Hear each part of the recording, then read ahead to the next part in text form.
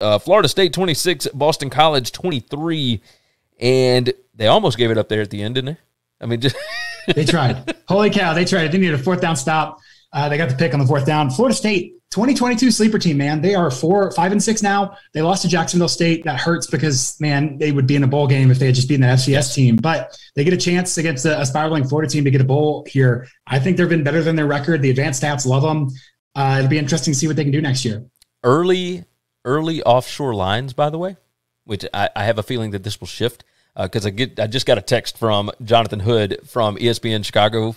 He said, "Why is Florida favored by ten over Florida State?" and I have no is idea. That, is that a, do they do that neutral site or do they do that home and home? No, no, that's home and home. That's home and home. Okay. So, it, it, which I don't think it matters this year. Like, I, I think Florida State is a team that wants to be there. Uh, the thing that surprised me in this game, Phil Jurkovec, 10 out of 24 passing, one touchdown, one interception. That's a, that's a QB rating under 100. Jordan Travis was 20 out of 34, 251 yards and three touchdowns. He ran the ball 13 times for 26 yards. Travis has big time improved this season.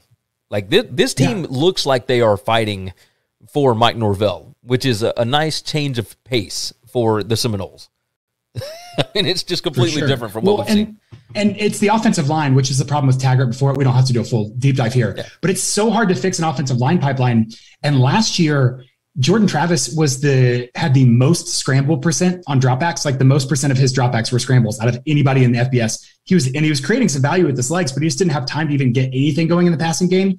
And and this year the offensive line has just improved a little bit because again that's how you got to build up a program. And so I mean shout out for them for taking a step forward. And and Travis has improved because the offensive line has improved. Uh, another interesting number out of this, by the way. Again, I like to look at hidden yardage. Uh, this this game, uh, look Boston College scored 13 points in the fourth quarter. Florida State did not score in the fourth quarter. This should have been uh, a bigger win for Florida State, uh, but 13 penalties for 120 yards for the Seminoles. I'll get you. It'll get you every time. Get you every time. Also, uh, Florida State only two out of 10 on third down and for two on fourth down. So, you know, when when, uh, when Boston College was eight out of 16 on third down, you know, that's uh, that's the way that goes. That is the way that goes. Thanks for listening to the Winning Cures Everything podcast. The website is winningcureseverything.com, and if you want to connect with us, we're on Twitter at Gary WCE, at Chris B. Giannini, at Winning Cures, or you can email us, Gary at winningcureseverything.com or Chris at winningcureseverything.com. Subscribe everywhere you need to subscribe,